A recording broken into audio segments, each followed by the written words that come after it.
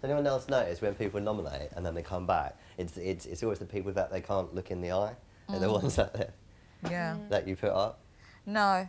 That's- No, actually, no, you're wrong.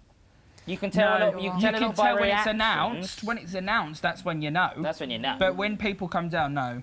Yeah. It's when, when it's announced, it's the most obvious thing in the world. Tell by reactions. Yeah, clearly. Clearly. Dexter, I can't look you in the eye. Oh, I'm sorry. I can't look you in the eye, Dexter.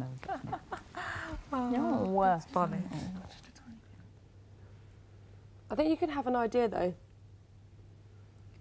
Do you have an idea for who I nominated? Mm, Do you? yeah. Oh, is it that obvious?